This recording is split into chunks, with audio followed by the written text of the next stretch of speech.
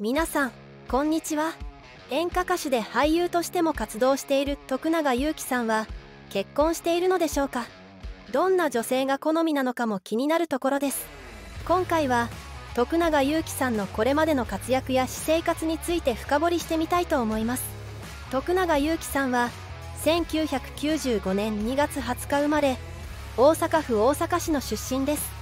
常に一貫レフを持ち歩き仕事の合間に電車の撮影に勤しむ鉄道マニアとしても有名です。プロフィールにも趣味は鉄道と書かれており特に鉄道に絡めた写真を撮ることが趣味の撮り鉄なのだそうです。さらには電車に乗って車窓から風景を見ながら電車の音を聞くことが大好きだといいます。幼少の頃からカラオケ喫茶ののど自慢大会に出場していた徳永ゆうきさん。中学生の頃には関西の共有会でも歌を披露するなどしていたため同郷者の間では有名人でした。2012年には NHK のド自慢チャンピオン大会2012でグランドチャンピオンになりました。そしてこの時のレコード会社にスカウトされ2013年11月13日に演歌歌手としてデビューを果たします。現役高校生ということでも注目を浴びました。実際にゲストとして臨席していた氷川きよしさんは素晴らしかった。貫禄があったと徳永ゆうきさんのことを評価しています。単に演歌が上手というだけでなく聞き手の心に響く奥深さがあったのでしょう。以前番組内で米津玄師さんの「レモン」をカバーして一躍有名になりました。演歌歌手として活動している徳永ゆうきさんが「レモン」を歌うなんて誰も想像していなかったのではないでしょうか。そしてそのイメージが頭から離れなくなってしまった人も少なくないと言います。また演歌歌手だけでなく俳優としても活躍されている徳永ゆうきさん NHK 連続テレビ小説「エール」や「カムカムエヴリバディ」などにも出演しています。徳永ゆうきさんは現在独身です。2018年のブログには同級生の結婚式に参加したことを投稿し子供もいてもうお父さんやお母さんになってる同級生が思いのほかたくさんいたということに驚いたと綴っていました。徳永ゆうきさん自身は仕事が充実しているため結婚はあまり焦っていないのかもしれません。徳永ゆうきさんの彼女について調べてみました。2019年に出演した番組では付き合っている人はいないと答えており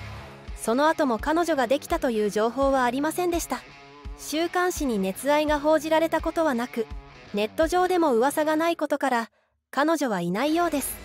過去の恋愛のエピソードとして挙がっているのが中学生の時に初恋をしていたことです。しかしその恋は残念ながら実りませんでした。徳永ゆうきさんは女性と話すのが苦手ですぐに嫌がってしまうことから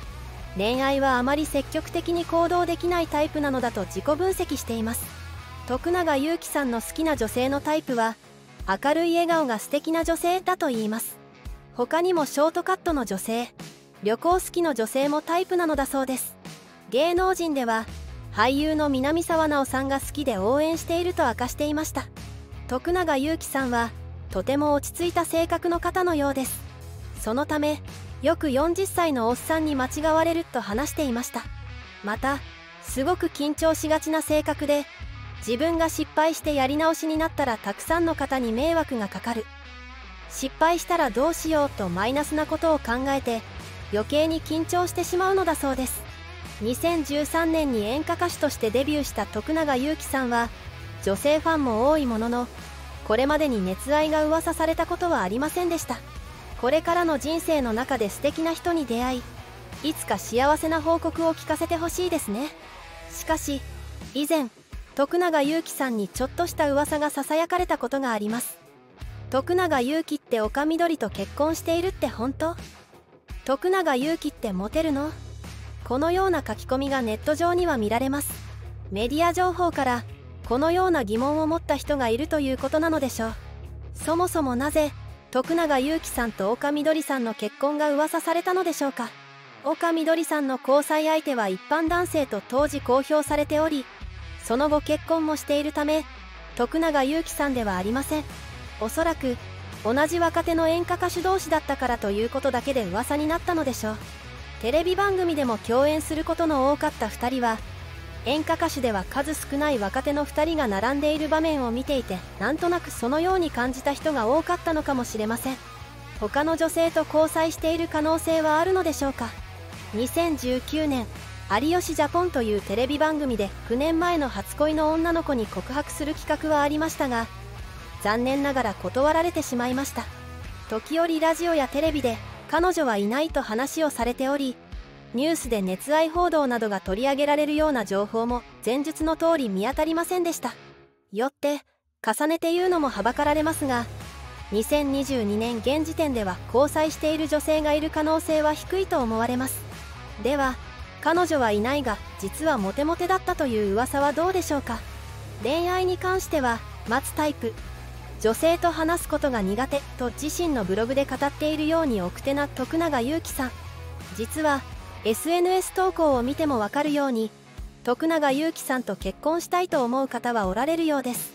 徳永ゆうきさんはとても落ち着いた性格の持ち主です。外見とのギャップのある抜群の歌唱力などの徳永ゆうきさんの魅力に惹かれ徳永さんのような人と結婚したいと思う人も多いのでしょう。もしかするとファンの方の中から結婚相手が浮上してくる可能性もあるかもしれません。徳永ゆうきさんと岡みどりさんの結婚はデマでしたがお二人とも実力のある若手演歌歌手であることはそうやりません。今後も2人の活躍に期待したいと思います。さて徳永ゆうきさんはその独特の風貌から障害があるのではないか？と噂されています。確かに実際の年齢を聞くと驚く人がほとんどだと思われます。しかも服装もやけに子供っぽいものを着ることが多い印象があります。しかし徳永ゆうきさんに障害があるという事実は見つけられませんでした。年齢不詳の顔立ちやステージに立つと妙に落ち着いた物腰などがただものではない。という印象を強く与えるのでしょう。徳永ゆうきさんはインパクトがあって演歌ファンでなくとも一度見たら忘れられない人ではないでしょうか。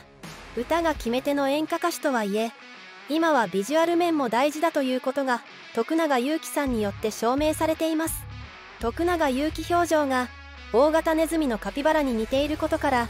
徳永ゆうきのイメージキャラクターとしてカピアンが作られました。順風満帆な芸能生活を送っているように見えますが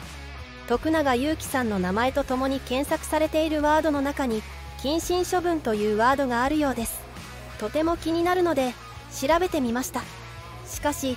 謹慎処分になったという事実や内容などを見つけることができませんでした。どうやらデマだったようです。デビュー当時のキャッチフレーズは日本の孫だったそうですが2022年11月現在27歳となり